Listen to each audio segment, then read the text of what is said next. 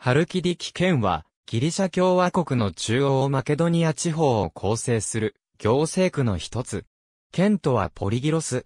エーゲ海に突き出したハルキディキ半島の主要部分を占める。古代にはカルキディ系と呼ばれた。ハルキディキ半島ハルキディキ県は中央マケドニア地方の南部に位置する。ハルキディキ半島の主要部分を占め、北にテッサロニキ県と接する。ハルキディキ半島は、エーゲ海の北西部に突き出した大きな半島である。ハルキディキ半島を手のひらに見立てたとき、指状に突き出した3本の半島がある。それぞれの指は、西からカサンドラ半島、シトニア半島、アトス半島と呼ばれている。最も東側のアトス半島は、ギリシャ正教の修道士たちによる自治国、アトス自治修道士共和国となっており、ギリシャ共和国の一般的な地方行政の外に置かれている。このため、ハルキディキ県には含まれない。古来、これらの指を船で短絡する試みは幾度か行われており、ペルシャ戦争時にクセルクセス一世がアトス半島の瞬間な海岸を避けるべく、その付け根に運河を掘らせたことは知られている。クセルクセスの運河は現存しないが、カサンドラ半島の付け根のポティデアにも古代に遡る運河があり、こちらは現在も運用されている。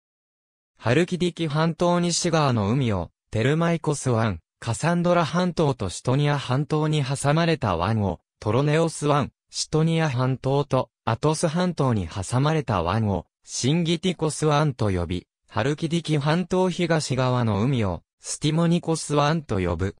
シンギティコス湾には、西にディアポロス島東にアムリアニ島が所在する。アトス半島は先端に、アトス山を要する瞬間な山岳地帯である。県の北部には、ホロモンダス山脈が広がっている。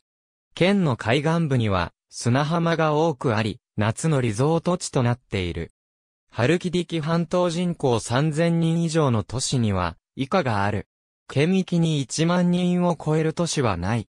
県と、ポリギロスは、県域ほぼ中央にある内陸の都市である。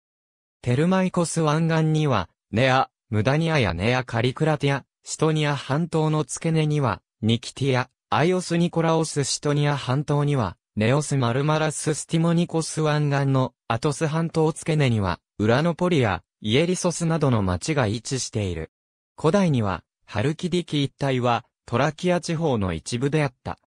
紀元前8世紀頃に、ハルキスやエレトリアなどのエウボイア島の都市などからのギリシャ人、入植者が渡来し、メンデ、トロニ、スキオニといった都市を建設した。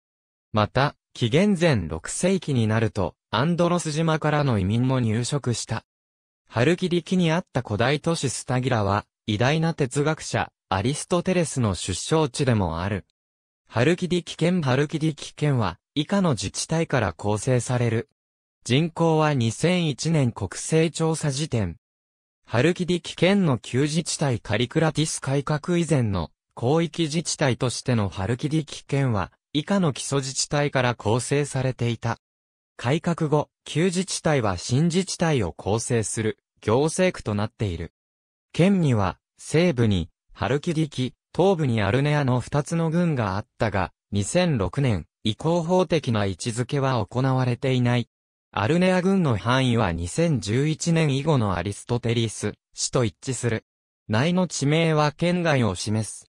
県内に空港はないが、テッサロニキ市街の南に位置する、テッサロニキマケドニア国際空港が最も近い。